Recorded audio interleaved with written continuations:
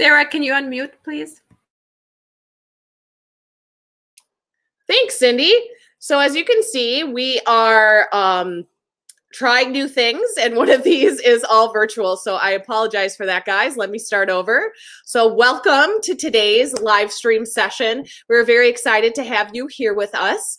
Um, we are excited to be partnering today with the office of admissions to bring you this very special session which is specifically for prospective students who will be entering uw-madison for fall 2021 so if you've logged into this live stream um, this is and you're a current resident there's all sorts sorts of resources that you'll find on our website um, and other Live with Bucky Live live streams that may help to answer your questions.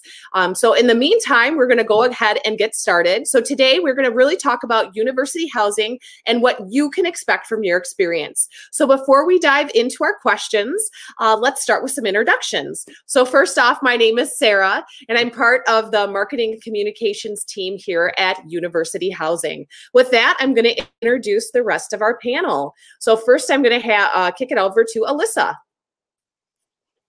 Hi, everyone. My name is Alyssa Lamberton. I am an assignments and student services coordinator with University Housing. Um, so our office works primarily um, with the the application to sign up for housing for academic year 21-22 and all the preferencing processes, all of that. So um, that all runs through our office. We also manage everything um, dealing with room changes, um, overall general where students are assigned in campus. Um, and we also kind of help with general questions, concerns, and, and anything else that can come up.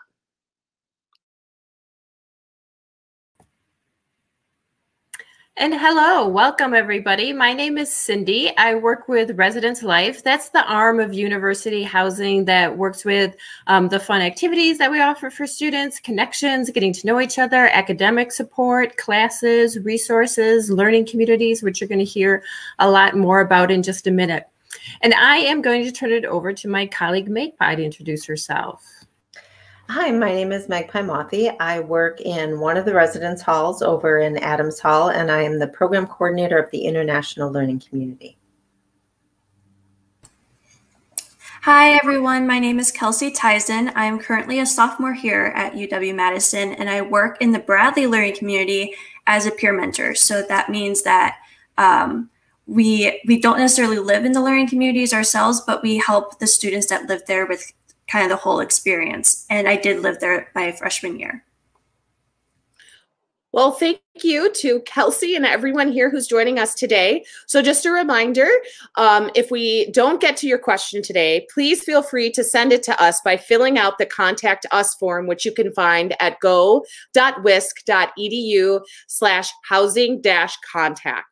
Another reminder, um, today we are talking about um, what you will experience uh, in university housing, and this session is specifically for uh, prospective students who will be entering university housing in 2021. So please feel free to drop your questions in the comment section of this live chat, and we will get to those as soon as we can. So first, what we're going to do is go over just a little brief introduction of housing and who we are. So first of all, we have 21 residents residence halls that are located all across campus. We have two primary neighborhoods that they're in, our Lakeshore neighborhood in our southeast. Uh, what's really great is it doesn't really matter which residence hall that you get in. All of our services and other features you can find anywhere across campus. And it's really nice because all of them are kind of spread locally across the entire campus. So you're able to really take care of whatever area of campus that it is that you're on. We have approximately about 7,800 students who live with us, and we don't currently have a live on requirement. But we find that about 90% of freshmen or first year students choose to live with us. Um, we provide a huge opportunity and a wide variety of activities and events for students to do. Um, one of the great things you see here are Wisconsin late night events. There's all sorts of awesome things that are happening um, to keep you involved and in touch with uh, your peers and other friends on campus. Um, so you will never be bored. There will always be something to do. So with that, I'm actually going to turn it over to my colleague, Alyssa, who's going to give you kind of an overview of, overview of what our rooms look like and what services are provided and what you can expect. So Alyssa? Yeah, thanks, Sarah. So um, in every single room, regardless of what building, what room type, um, there is furniture provided in every single room, and that does include um, a bed, mattress, desk, chair, bookcase or a hutch, dresser, shelving, and a mini fridge. Um, and Joel is showing the the furnishings page on our web website that can show some pictures and different um, lists of both what we have in our rooms and then also what um, what is allowed and what is not allowed that you can see on there. Um, all of our furniture is loftable or stackable, um, and we have everything you need to do that. So if you want your bed at a normal height versus um, a high loft or a junior loft, um, you know, different different ways that you can set that up. Um, and so all of we have everything you need to do that um, available either at the front desk or in the room. Um, every residence hall also does have access to laundry facilities. Um, most buildings that is within the exact building or it's in a very nearby building as well. And then we also have high-speed wireless internet access in all of our halls and connections um, to cable television service. Again, that can look a little different depending on the hall. Um, and then in addition, um, regarding, um, you know, staff coverage in that, we also have 24 hour staff coverage, both professional staff, career staff, um, student staff. Um, we also have house fellows, which uh, many other campuses know as RAs. Um, we always have staff available to help students students out with things and with the safety and security on campus. Additionally, with that, we also have um, uh, we also have uh, basically um, a good security system in terms of uh, you can only enter a building if you have access um, to it because you live there. So that can um, you know helps helps students feel safe on, in their space um, in buildings where there's a dining hall on the campus or uh, in the residence hall um, when and that dining hall if it's open open to the public um, the resident floors of that building are only available to students who live there so there's key card access to the buildings as well as um, a hard key access to every single room. Um, and then next, I will be passing it over to Cindy, who's going to talk about our learning communities. Thanks, Alyssa. One option that we would strongly encourage students to explore is to look at living in one of our residential learning communities. So learning communities exist in a particular floor, wing, perhaps a whole building um, of one of our residential units. And they bring together students, faculty, and staff around a shared theme. For example, biosciences, international issues, multiculturalism in the United States. There's a wide variety of options and themes available in our 11 learning communities. And each year, about 20 to 25% of students opt to live in this type of uh, learning community just to really enhance their experience. It's sort of like an honors version, if you will, of a residence hall. Um, and you really get connected to fabulous classes, seminars, field trips, extracurricular activities um, that bring this theme to life. And they are available to students regardless of any kind of major that you're in. A lot of first year students won't have their major decided. That's okay. If this theme is exciting to you, then you are welcome to join us in living there. And to kind of bring this to life a little bit more, I'm going to have um, my colleagues share a little bit more about the learning communities that they work in. So, Magpie, can you tell us a little bit more about the international learning community? Sure. The International Learning Community, like I said, is located in one of the residence halls. The residence hall we're inside of is Adams Hall. We're over located on Lake Mendota. The learning community itself has seven different language floors where students apply for and are accepted onto an immersion program. Um, some of these students are getting ready to study abroad, and some of these students are returning from studying abroad. And then we have two floors of Adams Hall that are for the general international learning community. And students who are studying a range of um, topics live there from engineering through political science or even some international studies majors themselves. We have a lot of single rooms, which is always a really good draw to keep our students living with us even two or three years um, into the program. You. And now I'm going to ask Kelsey, who is a peer mentor, to talk a little bit more about the Bradley Learning Community where she works. Hi, yeah. So as I mentioned before, I am currently a peer mentor at Bradley, and uh, previously I uh, lived in Bradley myself. So the whole kind of purpose for the Bradley Learning Community is building that community. So everyone that lives there is all freshmen. It is the entire building. So that's a big draw for a lot of first year students that you know they won't have a scary junior or senior as their roommate their first year you will be living with a freshman um, and then uh, one of the big things that is not necessarily required for everyone that lives in bradley but is um, highly recommended is to enroll in the one credit ils 157 seminar which you would be put together with um, other people that you live with, usually about a group of 10 students, and you will each class of it will be matched with a peer mentor, such as myself, and also a faculty fellow. So that is a professor from all different parts of campus uh, that participate in this. And it's just a nice way to make friends, ask questions that you're maybe too scared to ask, you know. Um, it's a really good way to connect with your dorm itself, but also as UW campus as a whole. And the dorm is located um, in Lakeshore, right next to DeJope Hall, which is one of the bigger dorms. Um, and it's right next door to that, which also has um, a dining hall, the Four Lakes Market. So it is a really big draw for a lot of first year students. And I highly recommend it myself. Thank you, Kelsey. And to really help bring the learning communities to life, we're going to share a video where you're going to see a lot more directly from life in those halls and hear from some of the students that have lived in those learning community programs.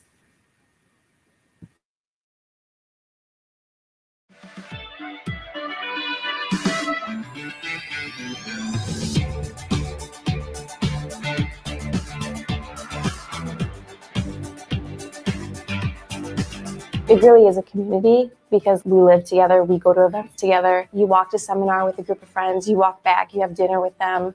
Whatever you are, wherever you come from, everyone is just accepted and you you feel the love. Everyone's brand new. You're not the only one. Don't feel alone. You're going to find someone that you like even if it's on class in class in your dorm or not. And learning communities make that job a little bit easier. It's just a great way for you to just skip those first steps that usually are the most scared ones. I learned a lot just sitting at the den, studying with my friends, stuff that I haven't learned in the lecture when I should have. Don't worry if you have no idea or what you're going to do. Think about what you're interested in, and that's where you can pick like a learning community based on that. And that's when you start to see more opportunities related to that we're all so close. We can talk about anything. We hang out. We have like a lot of events that we go to. It's just like a lot of fun you got to secure your room, which I thought was super nice because that gets that anxiety about where you're going to end up out of the way. They were always there to help me with any problem I had. I'm friends with basically everyone on my floor, and I think that really helps because coming from Hong Kong, coming so far away, but when I got to Bradley, it was just, it felt like home right away, and that was really comforting. I got to come to school and unpack and go to this programming room that was full of potatoes. And then I went up a floor and there was literally a full greenhouse full of plants and things growing. You uh, have the opportunity to work with faculty and also upperclassmen, which is really helpful and like learning what their experiences were and learning the ropes, figuring out how to be a college student freshman year has a lot of information and a lot of things that they throw at you, and that can be pretty overwhelming. So I would definitely, uh, for incoming students, advise over the summer, take some time to look at what's going on your freshman year and think about, okay, what do I think I'm really interested in? It's the best decision I've ever made because you're making a big university smaller and more intimate.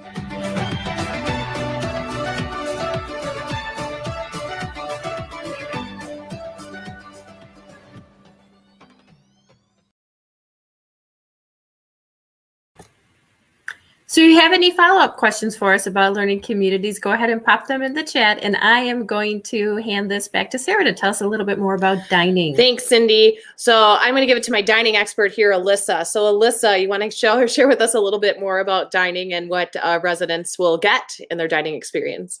Yeah, absolutely. So, we have um, six dining locations on campus. Um, between our two neighborhoods, we have three of those dining halls and dining locations in Southeast and three of those are in Lakeshore. So there's a good balance between the two. Um, and also, we our, our two largest ones. There's one in each neighborhood as well. Um, we have a three-tier dining plan system. So we have for um, when you select your dining plan, when you sign your contract and list out all of your preferences and everything, um, you'll be able to select either a tier one, tier two, or tier three. Um, so the dining plan is required for all students who are living on campus for the first time. Um, and the tier one, two, and three system, really the main difference is just how much money you have on your card. Um, so it's it's not a huge deal which one you choose. Um, it really depends on how much you think you'll end up spending on food um, during your time in the halls. We do also allow students to change their dining plan up until two weeks into the semester, so you can kind of you know get a feel for how much you'll end up spending. Um, you know, based on your first couple of weeks, and then can adjust um, from there up until the second week. So um, all of our dining plans are on an a la carte system, which means you pay for what you get. So you're not um, doing a meal swipe like some campuses do. So all of our dining halls have that pay for what you get, um, you know, type deal. And the any of the funds on your dining plan are are going onto your resident food account on your WIS card. So that can only be used for food purchases. And those food purchases would be either in the dining halls or in Flamingo Run, which is a convenience store that's located either next to our dining halls or kind of scattered across campus as well. Um, and so, yeah, those are really kind of the main pieces um, that are important to know about dining. Um, we have a lot of great locations, um, five dining halls, and then we also have a Starbucks location um, located in Smith Residence Hall that just very recently opened. So um, those are they're kind of the the small little things you need to know about dining. And again, if you have any other questions about dining stuff, we can definitely let you know um, if you want to send those questions in the comments. So, um, but first we do have a short dining video um, that we will be showing you all.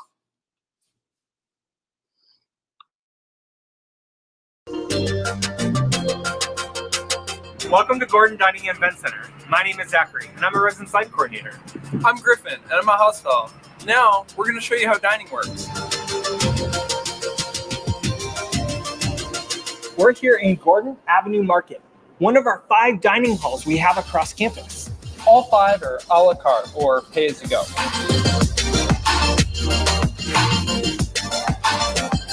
We pride ourselves on the fact that our food is made fresh, local, and from scratch with a wide variety of options.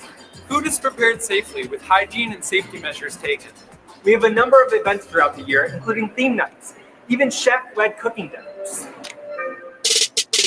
We offer a wide variety of options for food allergies and dietary needs. So whether it's for a religious practice, you're vegan or vegetarian, we can accommodate you. Look for these signs in dining venues for information on allergen and nutrition information. Liz's Market in Waters Hall specializes in food free from shellfish, tree nuts, and peanuts. Here's how the meal plan works. You'll be able to choose from three meal plan options and the money will be deposited into your resident food account before you move in, and you'll use your WIS card to pay. You can deposit more money at any time. Non food items purchased from our convenience stores will be deducted from a separate general account. In the rare case that we can't meet your needs, you may be able to file an exemption. Did you know that housing offers a number of student jobs? Our dining team member position is one of our most popular for first year students living on campus. It helps you to transition to campus successfully by building time management skills and community. We offer competitive wages, flexible hours, and convenient locations. Apply on the housing website by clicking on student jobs. Looking for more information about food? The Net Nutrition website shows you nutrition information and helps you select balanced meals. It even can help identify common food allergens. We have a registered dietitian on staff that can also meet with individuals to help accommodate their needs. In addition to our markets, we have two bean and creameries, one located on each side of campus. They are coffee and ice cream shops. We also have four convenience stores located across campus near our dining halls. These are known as Flamingo Run. And in fall 2020, a Starbucks will open in Smith Hall where Newell's used to be. Thanks for coming along with us. Just know we're happy to help. If you have any questions, please feel free to reach out via email or our social media channels. Bye.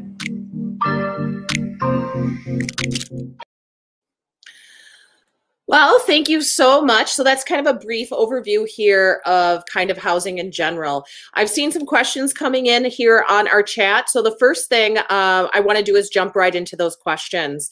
So we've seen some variations of questions coming in about what about COVID? So I think this is a really big overlaying question that we will try to do our best to answer. Um, so this is coming in from Katie. She said, what will UW-Madison do different?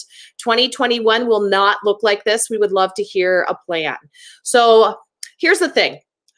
I, I don't think any of us here can predict where we will be in the pandemic when you arrive in 2021.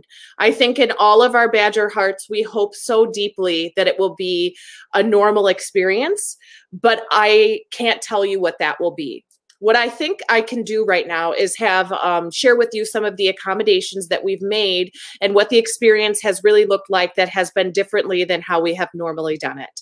So one of the things that you will find is there still is a residential experience going on in our halls. It looks different. And I think um, I'm really going to bring in my colleague Cindy here to speak a little bit about what does that residential experience look like this year in the halls. Um, how is that visitor policy? What type of virtual events are they seeing? So, um, Cindy, could you share a little bit about what that would be and what students are experiencing and seeing this year?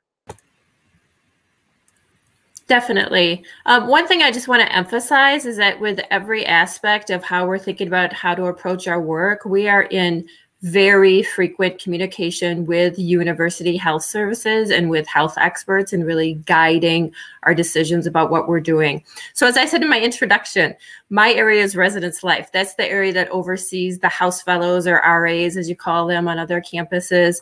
You know, they're um, getting to know students. They um, typically would be organizing activities for students, a wide variety of things that obviously normally happen in person. They're happening virtually this year, right? We did virtual house meetings. We still are doing virtual like team building sessions with the students. So they're on camera together, getting to know each other. We're still having roommate dialogues with the two pairs of roommates that are sharing a room and the house fellows to help them think about how they're going to share that space. We're doing virtual programming. Um, a wide variety of things have been pretty popular. We did a um, virtual event that was grocery bingo. It's something that we normally did in person, and the students really liked that the prizes for winning bingo are some grocery items that they can, you know, use in their residence hall room. Um, so we just still did that online, and a lot of students showed up for that. We actually did a talent show online. It was, you know, the Zoom um, platform, and students really enjoyed still having a chance to connect with each other, share those talents. It was a very supportive um, atmosphere. Um, and then in addition, of course, we're, you know, we have a policy this year where you can really only visit within the um, residence halls. We're not, it's not a year where you can have your friends that went to UW La Crosse come visit for a weekend, those kind of things. Um, and of course, the facial coverings policy. So all of those things in terms of what it looks like um, for the spring semester and for next fall are going to absolutely be guided by um, the health experts on campus. Thank you, Cindy. I think that's really helpful. Um, one of the things I will mention too is that our dining services are still operating here during uh, COVID times. One thing that's very different is that um, we are they are only open to housing staff and housing residents so you have to swipe your card in order to get access um, and we do have limited amounts of seating just due to the fact that we uh, are only to 25% normal capacity of seating for health reasons. We do have a dining capacity app that allows people before you come to see if there's seating available. Maybe that helps you. And we do have a wide variety of food options. So we have expanded grab and go options. We also have two really great ways that you can eat from our halls that are actually open to everyone, residents or non-residents. We have these awesome delivery robots. So you can place an order um, through our Starship uh, technology deliveries app and anywhere you can drop a pin within our service area and these little robots will come and deliver your food to you. So it's really done all on an app. You put it right on there and then when the robot comes you'll get a ping on your app. You just scan your app and the robot pops open. You can get hot or cold food and it can be brought directly to you. We also do offer grubhub so you can order something for pickup. So let's say you're running in between classes you can pre-order your food. It'll be right there for you and ready to go. Um, so with that, we're trying to reach students as much as we can. Um, we also, like Cindy said, know that there are things that we can't predict will happen. We do do uh, testing within our halls. All residence hall uh, occupants are uh, required to go through regular COVID testing to ensure. We also have a very extensive plan on quarantine and isolation to make sure that we have the ability to take care and connect with those. And again, that is always guided by health experts and campus leadership. So with that, I have no idea what part of this plan will look like that when you guys come here, but you should just know that we do have all sorts of precautions in place to make sure that we can take care of you and keep you as safe and healthy as possible. So with that, I kind of want to jump in a little bit more to what our rooms and our halls look like. So Alyssa, I'm really curious since I'm at home, I'm trying to figure out this tour process. Um, I normally I would sign up for a housing tour. Is there any place that I can take a, a tour of the halls or kind of experience that from home here? Um, what would you suggest? Yeah, absolutely.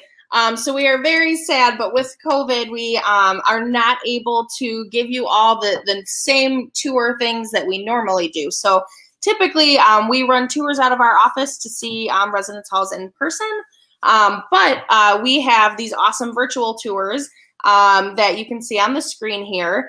Um, we have virtual tours in every single one of our residence halls. Um, we cover most of our room types, but not all of them. There's some, you know, some buildings have only a few of one certain room type or things like that. So we offer as many as possible. Um, and once you go into the, the virtual tour here, you can actually do the 360 view and move around um, and, and see kind of the different layouts that people do, the different ways people decorate their room. Um, you can see the mini fridge in the room that all of our rooms come with um, and, and the different furniture that everything comes with. So the virtual tours are going to be a really, really helpful option um, especially this year since we're not able to offer tours in our normal format. So when you go to our website, which is housing.wisc.edu, and if you click on the undergraduate um, tab in the upper left hand corner and click residence halls, um, that is where you can see a full list of all of our residence halls. So if you're looking for a specific um, virtual tour in a specific residence hall, or say you want to go to Leopold and take a look at Leopold, um, you can find the virtual tour on that residence hall page on our website. So there you can see different tour, um, different virtual tours for different years. Um, the year is kind of just, um, you know, just a different year that people, um, you know, had their rooms, had these image taken of them. It doesn't necessarily mean that a double room in 2018 is different from a double room in 2019. So um, again, you can see different ways that things are laid out um, and really helps you get a, a visual representation of what the, uh, the rooms will be like on campus. Um, and then this is a great example of one that um, has an additional um, thing you can click on within the tour to see a different section of the room. So in this one, you can see the closets in addition to the main por uh, portion of the room.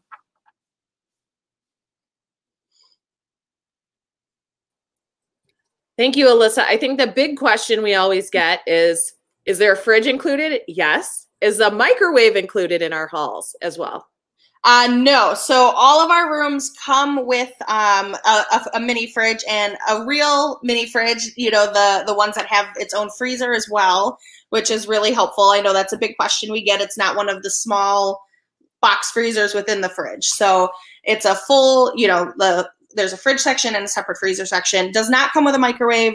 Um, you know, we do have microwaves in our common area kitchens this year because of COVID. They have not been open um, in our common area kitchens. Um, can't say what that'll look like exactly next year, as kind of Sarah kind of alluded to. Um, that we don't really know exactly what that'll look like. But if kitchens are open, there will be access to microwaves in those kitchens. Yes. And so if you um, need to put things in those large kitchens, just make sure you label them, we always say, and then you'll kind of work with your house fellows, which is uh, what we call our RAs here at UW-Madison. So with that too, I just wanted to also point out we do have virtual tours of our dining units if you were curious about that. Alyssa mentioned we have two large dining facilities, one located on each side of campus. We have Four Lakes Market and Gordon Avenue Market. So you can also navigate those tours of those dining facilities just the same. So if you're curious, go ahead and check those out, uh, the same place that we showed that. So with that, I'm kind of curious um, going into more of the residential experience, and I'd like to bring Kelsey in here. So Kelsey, you talked that you really work as a peer mentor in a learning community uh -huh. here in uh, Bradley Learning Community. What does that mean? Could you really tell me a little bit more about what a peer mentor does and like what's really the benefit of having that as part of your first year experience? Yeah, so um, for for Bradley Learning Community specifically, because that's what I'm an expert on here.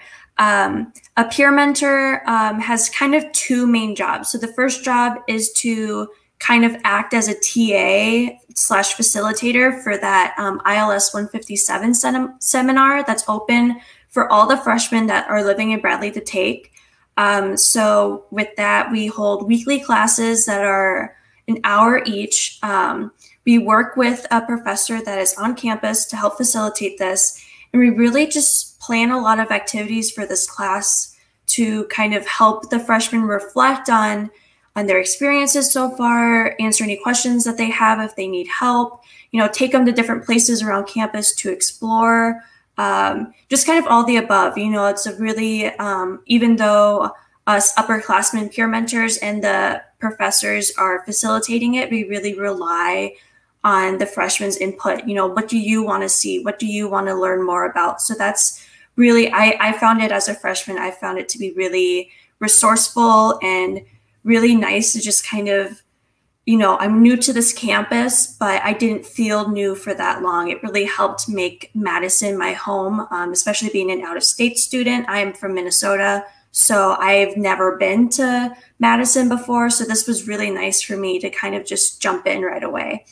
Uh, the second role of a peer mentor is um, there's about 15 of us in Bradley right now um, as peer mentors, and we plan um, like around three to four different activities each week. So um, we tend to do these in the evenings, uh, usually around seven o'clock, and we do movie nights, we do game nights, we do Pictionary, we do like an Oscar watch party, we do all different sorts of activities. And with that too, we also do uh, routinely ask the freshmen, you know, what do you want to spend your time doing? You know, do you need help looking for jobs. We can do um, like resume lookovers. We can show you where to apply for jobs. We we are just a resource for these freshmen to be able to transition successfully into college life as much as we can. So while we do plan stuff for them to do,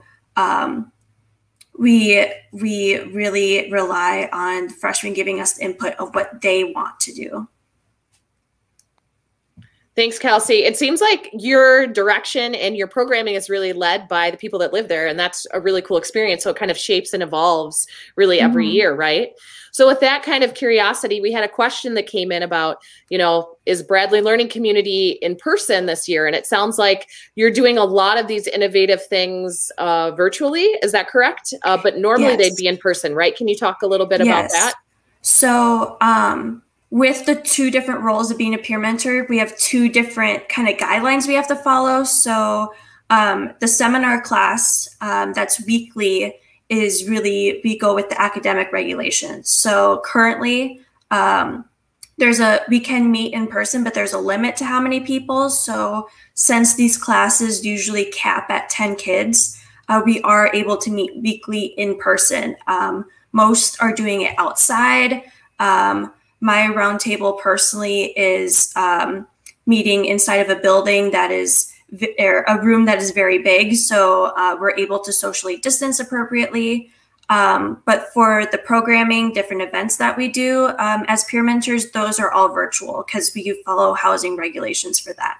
So, um, so it's kind of a mixture of both in person and virtual. Obviously, uh, we're trying to stay as virtual as possible so you can try and stay as safe as possible so that hopefully by next semester or further in the future, we can do more in person things because we took this time to be safe now. That's great, Kelsey. I think I'm also going to bring Cindy in here to kind of talk about this hybrid model um, of really that engagement and what um, kind of that looks like too as well. Thanks, Sarah you know, one advantage of the learning communities is the sort of small group connections that we're able to make for students. So even in a learning community like where Kelsey works, the Bradley Learning Community, it's an entire building. There's more than 200 students living there. But we have so many different faculty fellows involved that you get into these groups of 10 to 12 students working with a peer mentor and a faculty fellow. And this is just really good practice in general to welcome students to a large campus. But one advantage that turned out this year was that we were able to still meet the requirements then for the um, learning community seminars to be those classes that were able to meet in person um, as we started out the semester and have been safely able to continue to do so, except during the two week um, pause on all in person um, courses.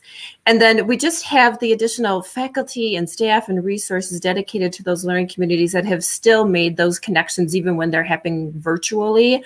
Um, we've still been able to really do amazing things. So all summer long, we are getting the question of whether or not the learning communities were happening. Yes, they are. And um, it's really where we're able to offer a lot of additional programs and resources. One cool thing that's happened this year is because it's all virtual anyhow, our amazing world-class faculty have connections, professional connections all over the world, all of a sudden we didn't have to worry if we could get their colleague from Peru to fly into Madison for a night for a lecture. They could just do a lecture. So in some ways, we've been able to take advantage of the situation.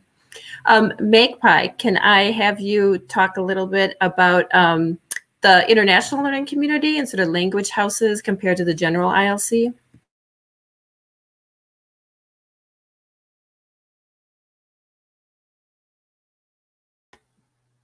I got so excited I forgot to unmute. So definitely, we um, have been asked this question quite a bit, as you can imagine, having about 175 students who live with us.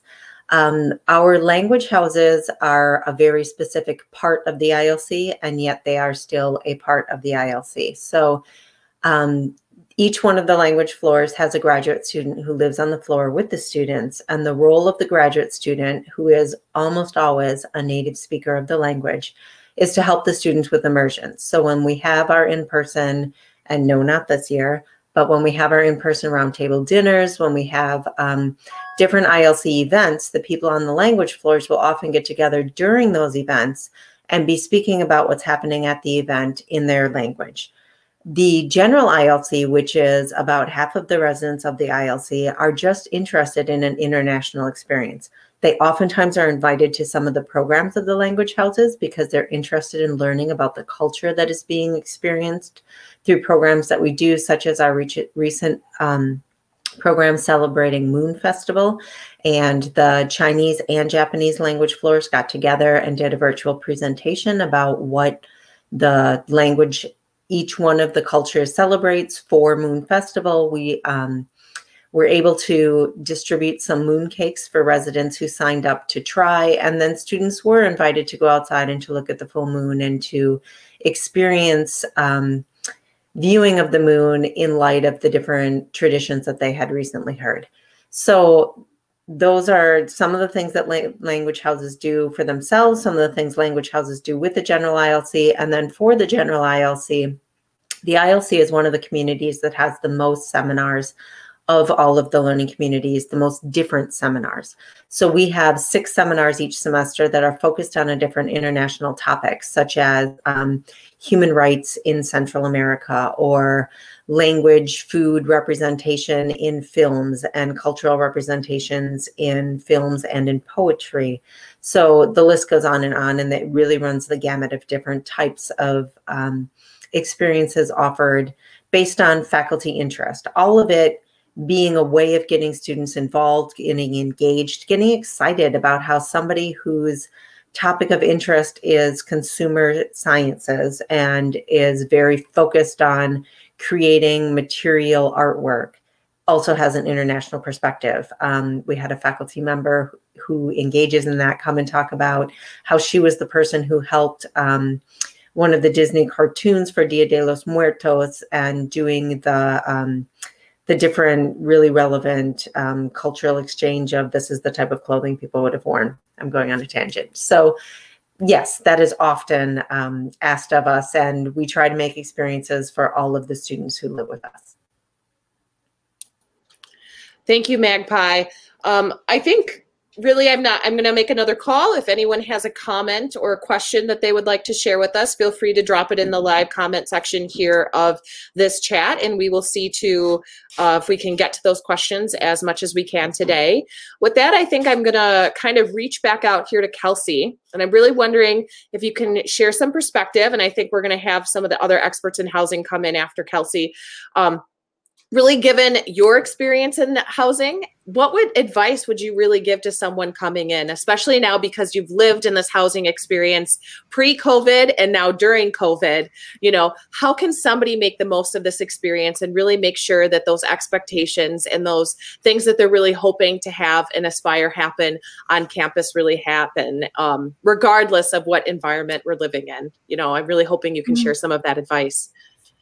Yeah so um, you know, if any of your parents have been to college or you have older siblings, they always tell you, you know, leave your door open. You never know who's going to go by. And so, definitely, if we're living under more normal circumstances uh, next year, I would definitely recommend um, leaving your door open and, you know, not being afraid to be the first person to say hello to anyone you end up running into, whether it's in the dining hall or in your own floor if you're building or, or likewise, you know. So, um, of course, now we're in a pandemic. We don't necessarily want to leave our door open. It's not encouraged by anyone.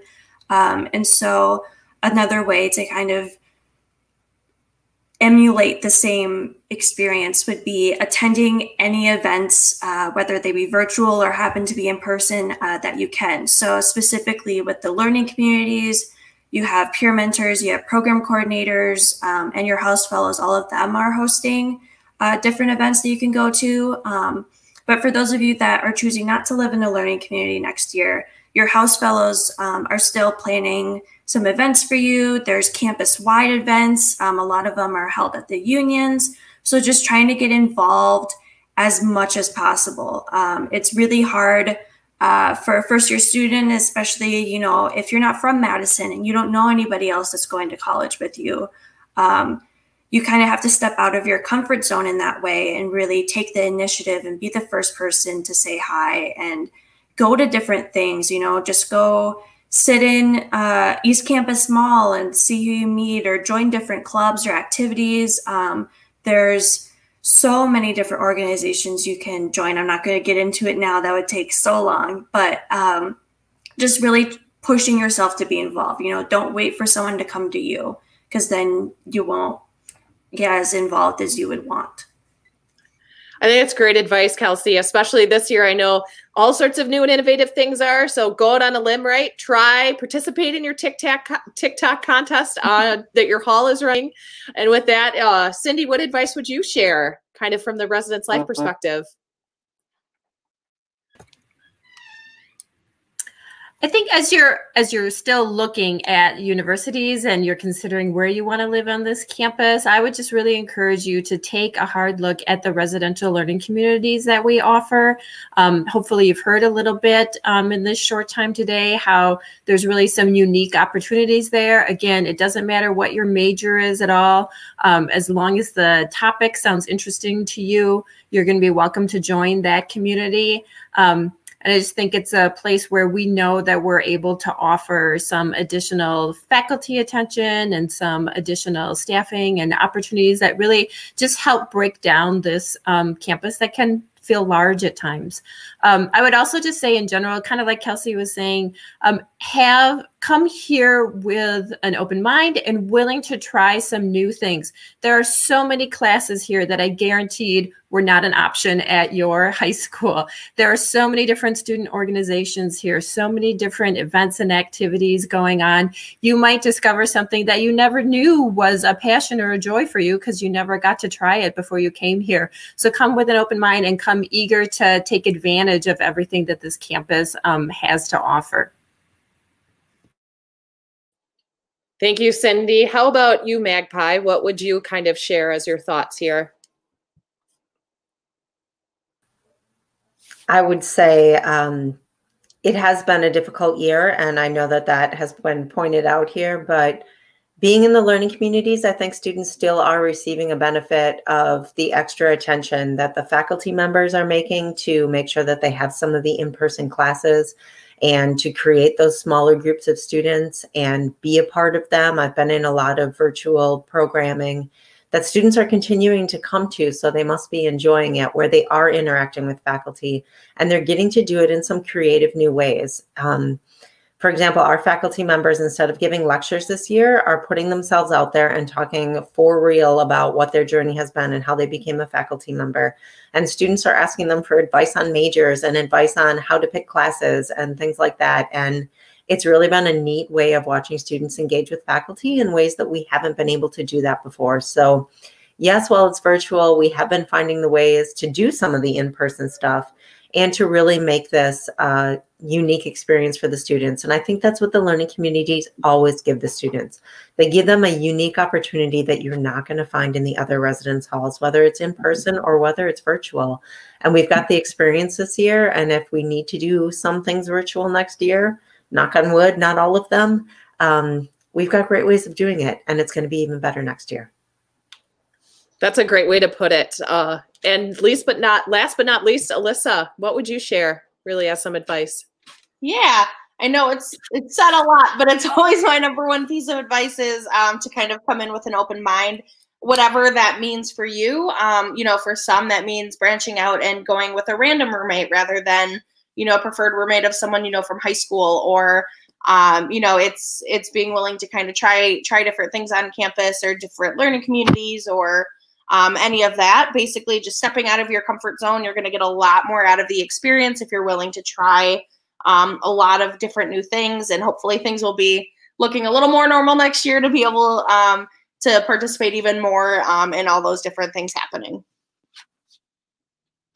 Thank you, Alyssa. So, last, I will say if you are interested in learning more about university housing and kind of viewing, I guess, some of our other Live with Bucky live sessions, we cover a variety of topics, including an intense uh, conversation kind of about COVID changes that we had made. But there's also great conversations about Res Life Experience. We actually measure a fridge live, so you can see that. Just go to go.wisc.edu slash live with Bucky live right there, and you can view any of those past live sessions. So with that, I would like to welcome all of our panelists back and just thank you so much for joining us today for this session. And we look forward to welcoming you all to campus in 2021. So let's all wave goodbye. Thanks so much, you guys, and have a wonderful day, and we'll see you next year.